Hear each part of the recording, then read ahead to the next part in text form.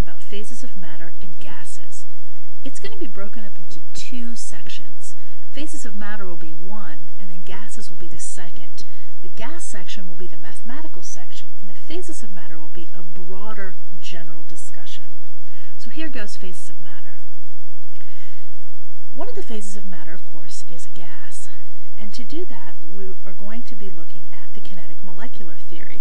The kinetic molecular theory describes the behavior of gases, and there are a few assumptions that we have to agree upon that the kinetic molecular theory discusses. The following. First, gases are made up of tiny particles. Empty space fills the area between the particles. There are no attraction or repulsion of particles. Those gas particles can move and fill the, the space, but they have no interaction with each other. The collisions that gas particles have are elastic, which means they bounce off 100%.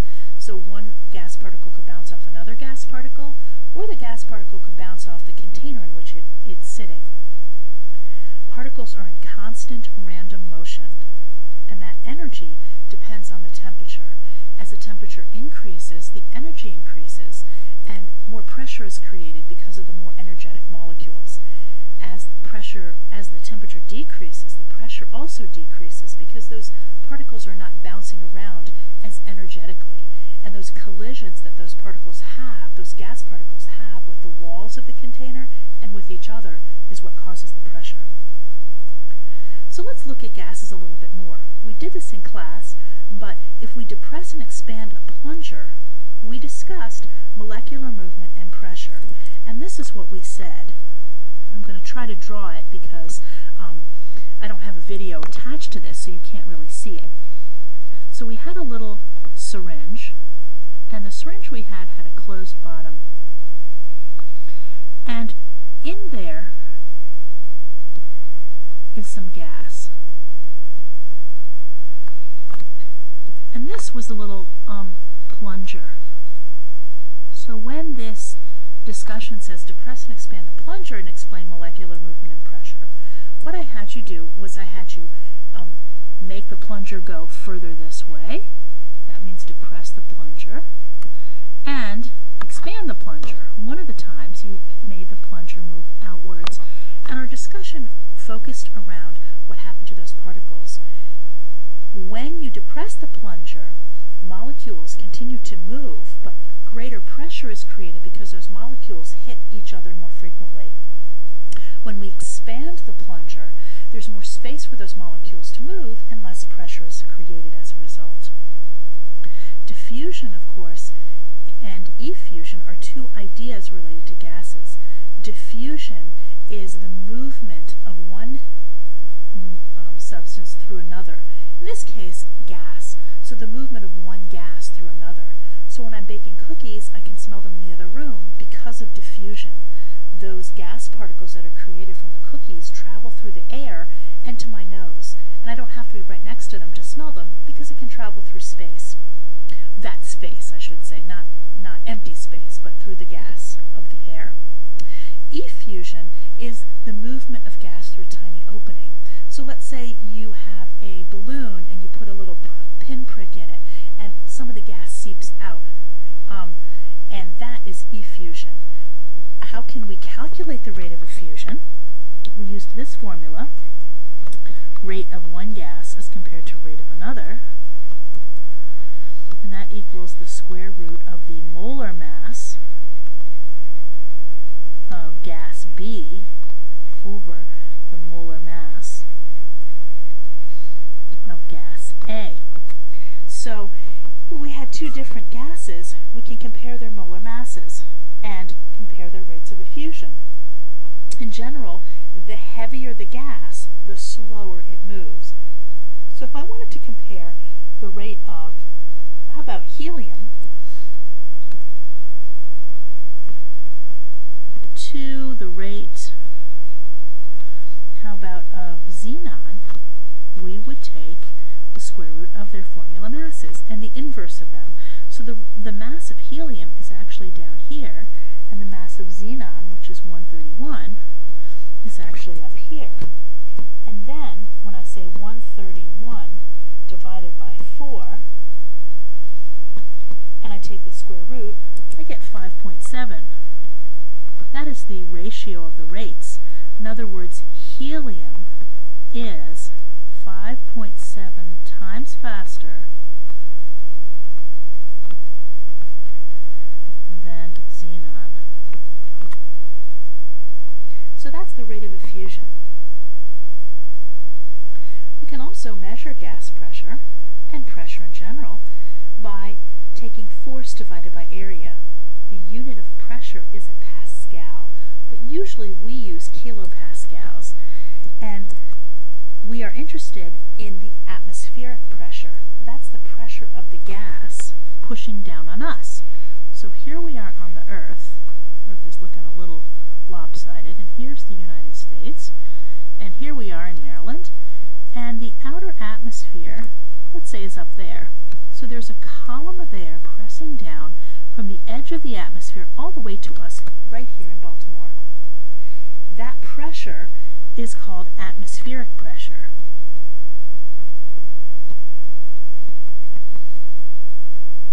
And on the average, it pushes down with a pressure of 1 atm.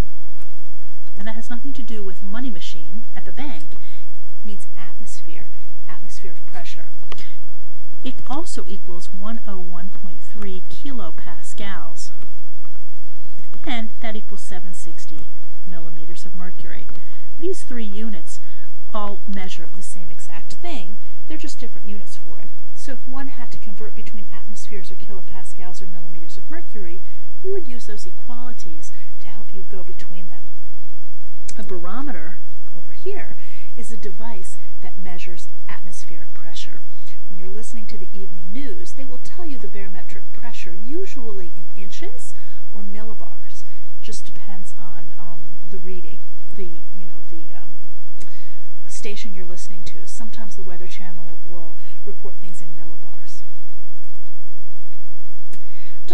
Partial pressure is a very easy idea, and it says the pressure of the total sample of gas is equal to the pressure of gas number 1 plus pressure of gas number 2 plus the pressure of all the gases in that particular sample. So if I had the atmosphere, for example, which it, on the average has um, 101.3 kilopascals of pressure, and that would be the air, they're all different substances that make up the air because it's a mixture. There's some oxygen gas, and there's some water vapor. That should say H2O, it looks like 20. And that's because I have the H there, pressure, H2O, and pressure of nitrogen gas, and all the other gases that make up air. So on the average, let's say it's 101.3 kilopascals. And I know that the oxygen has a pressure of, oh, let's say 50 kilopascals, and water vapor is 2 kilopascals. How could we figure out the pressure of, of nitrogen if that was the only other component? Pretty easy. We would add the um, 50 plus 2 to get 52, and then say 101.3 minus 52, and we get 49.3. So that must be the pressure of nitrogen, which would be 49.3 kilopascals, if those are the only three components. And then finally, which travels faster, oxygen gas or hydrogen gas? With some calculations, you could, if you want to think about rate of effusion, or know the fact that hydrogen is going to travel faster because it's lighter. The lighter the gas, the faster it moves. So now we're going to look at intermolecular force. This is a force that is relevant to all solids, liquids, and gases. Intermolecular is a new term, but intramolecular is what we've already had. Intramolecular are like covalent or ionic bonds. These are bonds within molecule. we talked about molecular shape and all that. So we've already done intermolecular. Intermolecular, however, is a little bit different. Intermolecular are forces between neighboring particles.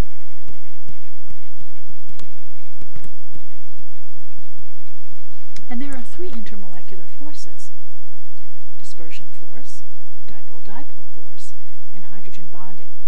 The next three slides are going to talk about those in greater detail. So let's look at them one by one. Dispersion force is the weakest of the three intermolecular forces. And what is it? Well, it is a brief misalignment of electrons within an atom or a nonpolar molecule. Now this brief misalignment, you'll notice here, here's helium atom, which has two protons and two electrons. You can see how the electrons in the first atom, number one, are opposite to each other in the picture. That means the two electrons are as far apart as they can be, which makes sense because electrons clearly do not want to be next to each other. But notice in helium atom number two here, in, in um, the first picture, A, notice how these two electrons are kind of on the left of that molecule. Maybe during their movement, instead of being perfectly opposite one another, they get misaligned. There's this brief moment when they're both on one side of the molecule. What happens, therefore? Over here, the electrons are kind of bunched up over on the left side of the molecule. That makes this side of the molecule, you can see here, negative, and this side positive because we have protons over there, and that's what's in the nucleus. Well, what happens? Well, this brief misalignment causes the neighbor to also move its electrons away because it wants to have its protons kind of aligned with the neighbor's electrons.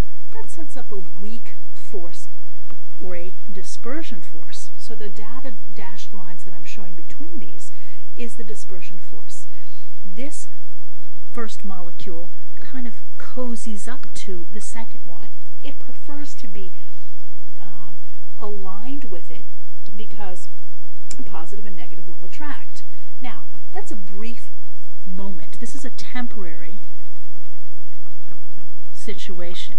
Whoops, temporary, T-M-P-O-R-A-R-Y, dipole. That means polar. So there's a temporary positive and a negative end, but then the molecule kind of realigns itself and looks like it did in the beginning. Then maybe those two electrons get misaligned again, and that brief misalignment causes the neighboring molecules or atoms to shift their electrons as a result, and then those things can have another dispersion force, another weak force of attraction. So this added force holds the molecular structure together. That's what a dispersion force is. Remember, it's the weakest of the three. Now, moving ahead, dipole-dipole force, you will notice here's the dipole-dipole force, that dotted line, kind of like the last one in dispersion force. But a dipole-dipole force is for a polar molecule. Some of you may have to go back and put the Lewis structures together to see what, what molecule is polar and nonpolar. In this case, it's always a polar molecule. There's always a dipole, two poles, positive and negative. HCl, which is the molecule here, is a polar molecule. Because if you were to do the dash diagrams, do you notice HCl, which is covalent, hydrogen and chlorine do not have the same attraction for the electrons. In fact, this side is negative and this side is positive because this atom is more electronegative. So we could figure out which part of the molecule is more negative and which part is more positive by just knowing the electronegativities. So in general, the electrons would be hanging out kind of near chlorine because it's more electronegative, and that's a permanent dipole.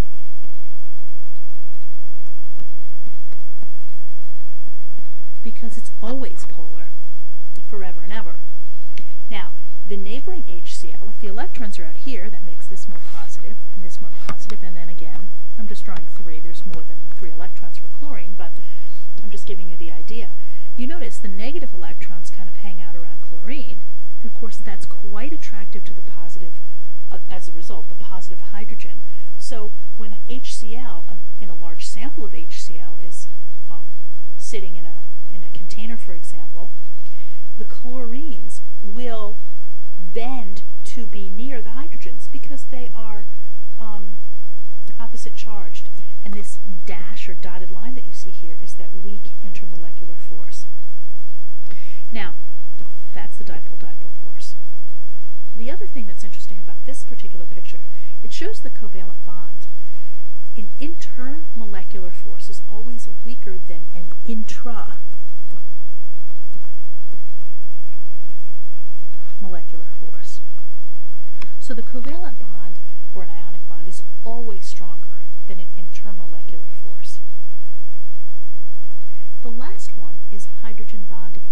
Hydrogen bonding is a dipole-dipole force. So you already can see here the similarity to the previous picture. You notice how oxygen is more electronegative, has a negative side, hydrogen therefore is positive. It doesn't show it on this one, but it showed it over here. You notice the oxygen is attracted to the positive hydrogen of the neighbor. This dash is the hydrogen bond. Well, how is it different than a dipole-dipole? Well, it's not. It's, it's a dipole-dipole force with highly electronegative atoms. And that means it's hydrogen with N, O, or F only.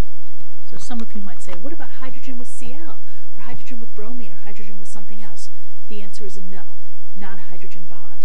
Hydrogen has to be attracted to nitrogen, oxygen, or fluorine. So sometimes if it's bonded directly to it, and there's a large sample of that same molecule, like H2O, then that's a hydrogen bond. And, and again, hydrogen bonding gives rise to lots of different properties. So for example, water, H2O, is a hydrogen bond. That's the reason water has such a high boiling point, that it has a high surface tension, and has other properties because of the way it's bonded and put together. Let's look at some phase changes. Now we talked quite a bit about gases earlier. We talked about intermolecular forces. And we're going to talk about phase changes. These are the kinds of changes where you go from a solid to a liquid to a gas and back. Some of those changes are exothermic and some are endothermic. Some give off energy and some take in energy. The kind of changes that are exothermic are the kind that go from the gas to the liquid to the solid. This is the exothermic direction. Because you have to start with a lot of energy and then release it to be exothermic. Gases have the most energy. And of course solids have the least energy.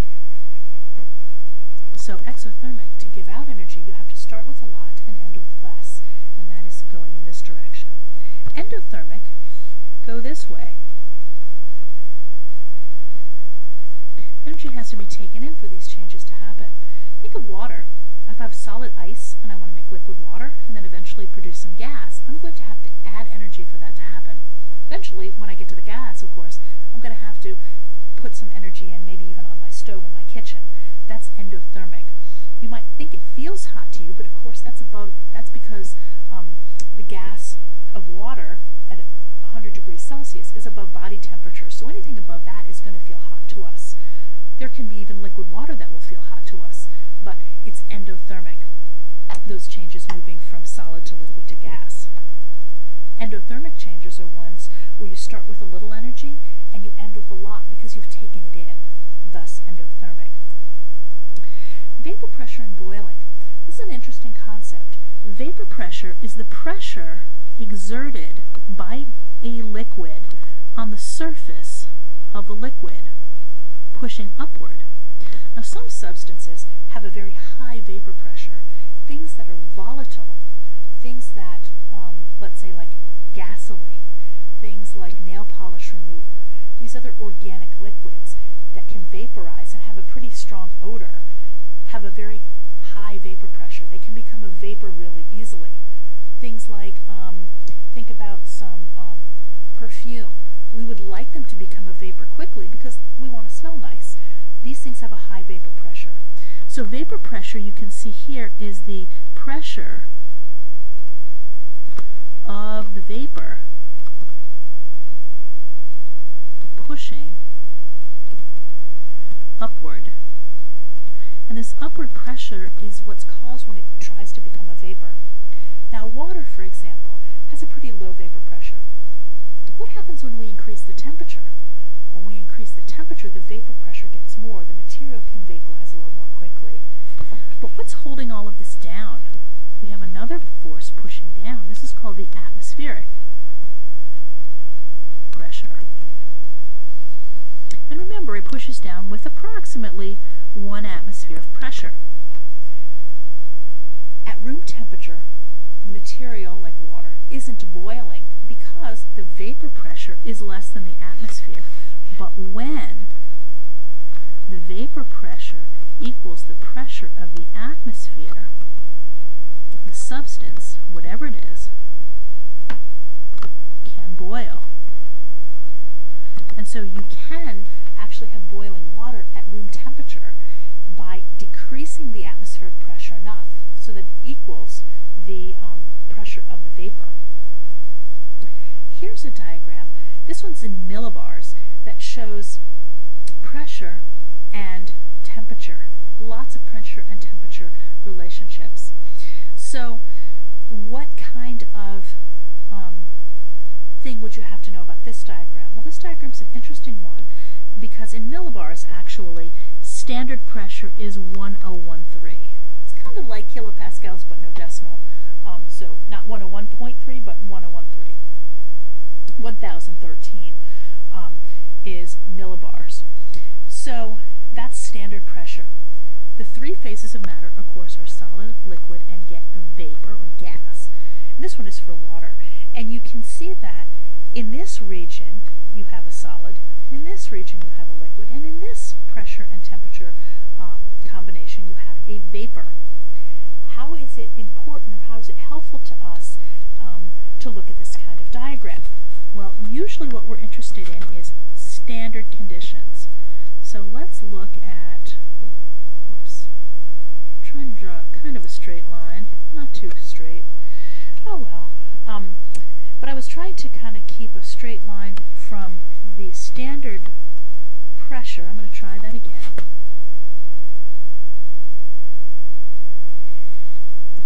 That's better. Um, and it's showing what happens over the three phases of matter. So when we have a negative temperature, you see temperature's down here, at standard pressure, you can see the phase of matter as a solid, right? And then, right here, something special happens. The solid becomes a liquid. This line shows the melting point. And if we read it off, it's about zero degrees. That is the melting point of water, because this is a diagram for water. Then, above zero degrees, standard pressure, you notice we have a liquid, and I'm just moving along, moving along, and we keep moving, and eventually we come to another important point, and you can see there's the answer right there. That's the boiling point at sea level. Now, if we, I'm going to just connect this, and I realize the diagram that I have here isn't really perfect, but if I drop a vertical line, sort of, I have to make it bent because I think the graph isn't perfect, you will notice that, oh, the boiling point at sea level is 100 degrees. And then after 100, you can see material beca can become a vapor.